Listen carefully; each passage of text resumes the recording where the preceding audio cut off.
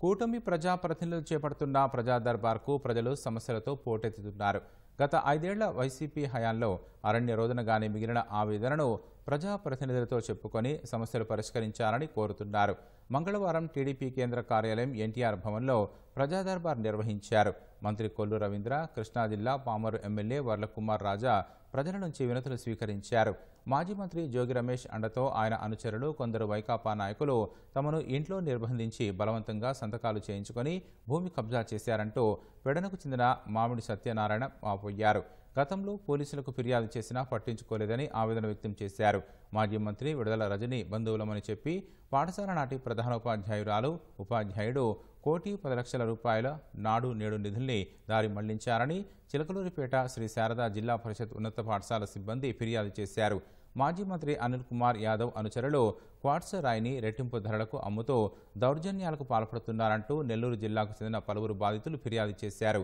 ఇంటి కోసం తీసుకున్న రుణం తీర్చలేక తీవ్ర ఇబ్బందులు పడుతున్నామని విజయవాడకు చెందిన దివ్యాంగ దంపతులు వాపోయారు. తక్షణమే కొంత ఆర్థిక సాయం అందించి మంత్రి కొల్లు రవీందర్ ఎమ్మెల్యే కుమార్ రాజా ఆదుకుంటామని భరోసా ఇచ్చారు. వరద సాయం అందలేదంటూ విజయవాడకు చెందిన పలువురు మహిళలు ఫిర్యాదు చేయగా అందేలా చూస్తామని మంత్రి హామీ ఇచ్చారు. పశుసంవర్ధక శాఖ పోస్టుల భర్తీలో వైసీపీ నాయకులు అవినీతికి పాల్పడ్డారంటూ ఓ అభ్యర్థి ఆవేదన వ్యక్తం చేశారు. సంవర్ధన శాఖ విఏ అసిస్టెంట్ పోస్టు నోటిఫికేషన్ కోసం ఎనిమల్ హెజిమెంటరీ కోసం చాలా మంది ఎదురు చూస్తున్నారు సార్. మరి గతంలో రెండు మార్కులు మూడు మార్కులు సున్నా మార్కులు జాబ్లు ఇచ్చారు సార్. ఈసారి నోటిఫికేషన్లో నాలుగు వందల ముప్పై పోస్టులు ఉన్నాయి సార్. కృష్ణా జిల్లా ఎన్టీఆర్ జిల్లాకి సార్ నాలుగు వందల పోస్టులు భర్తీ చేయాలి సార్.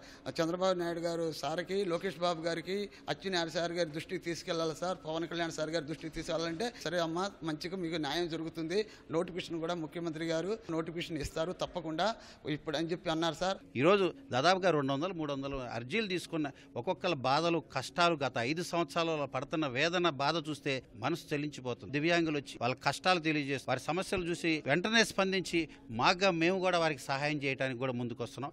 ఈ రకంగా రాబోయే రోజుల్లో కూడా ఇదే స్ఫూర్తి ఉత్సాహంతో పనిచేస్తూ ఇది ప్రజా ప్రభుత్వం పేదవాడి ప్రభుత్వం అని తెలియజేసే విధంగా ఎన్డీఏ ప్రభుత్వం మరి ముఖ్యంగా తెలుగుదేశం నాయకులు మేమందరం కూడా కృషి చేస్తామని తెలియజేస్తాం